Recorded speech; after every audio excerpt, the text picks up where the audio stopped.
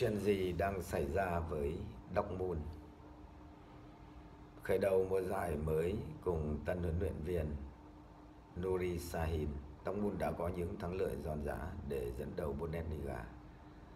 Nhưng niềm vui của Dortmund và huấn luyện viên Sahin sớm khép lại khi đội bóng dần rơi xuống giữa bảng xếp hạng. Chuyện gì đang diễn ra với Long Dortmund bắt đầu cuộc chinh phục danh hiệu với tân huấn luyện viên Sahin bằng thắng lợi 2-0 trước Eintracht Frankfurt ở vòng đầu tiên Bundesliga.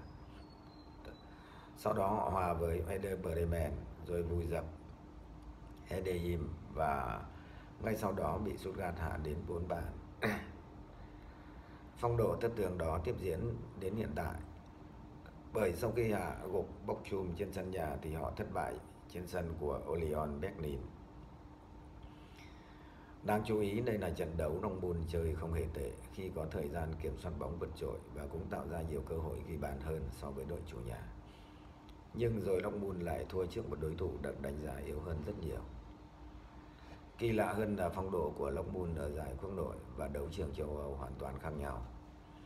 Nếu như Dortmund không thể tạo nên chuỗi thắng tại Bundesliga thì tại Champions League, họ thắng liền hai trận ghi được 10 bàn thắng và chiếm trệ dẫn đầu giải đấu có sự góp mặt của hàng loạt tên tuổi lớn như Real Madrid, Barcelona, Bayern Munich, Man City, Liverpool, Inter Milan. Với phong độ thất thường đó, Dortmund đã rơi xuống vị trí thứ 7 trên bảng xếp hạng Bundesliga mùa này. Bị nhóm dẫn đầu bỏ xa đến 4 điểm sau 6 vòng đấu. Đáng báo động hơn là tinh thần của các cầu thủ Dortmund đang có dấu hiệu sa sút mà lại không có một đội trưởng đủ cá tính để vực dậy toàn đội. Như đã biết, mùa hè 2024, Dortmund đã để hàng loạt công thần ra đi. Từ băng ghế huấn luyện viên cho đến cầu thủ thâm liên có tiếng nói trong đội hình. Cụ thể, họ đã chia tay huấn luyện viên Arik, Arin Teric, người giúp Dortmund vào chơi trận chung kết Champions League mùa trước.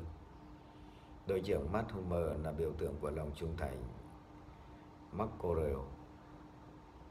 Ờ, sự ra đi của bộ ba này đã khiến Dortmund bị tổn thất nặng nề về mặt kinh nghiệm khi những gương mặt được chọn còn quá trẻ. Điển hình là việc bổ nhiệm huấn luyện viên Sahin vào chiếc ghế nóng tại sân Xích Indo Bắc.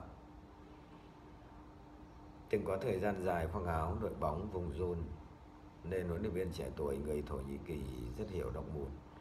Ông biết đội bóng cần gì và cũng hiểu rất rõ môi trường khắc nghiệt tại Bundesliga. Nhưng do còn non kinh nghiệm huấn luyện nên ông khó lòng giúp đội bóng giữ vững được phong độ. Không chỉ gặp vấn đề ở vị trí huấn luyện viên mà những cầu thủ mới đến như Bieber, Aton hay Kauto đều chưa thể hiện được nhiều khi chơi tại một đội bóng lớn như Dortmund. Ở những trận đấu vừa qua, đoàn quân của huấn luyện viên Sahin sống nhờ vào sự tỏa sáng của Urasi hay Biloe Ginter và hiển nhiên bộ đôi này không phải lúc nào cũng chơi xuất sắc để gánh toàn đội.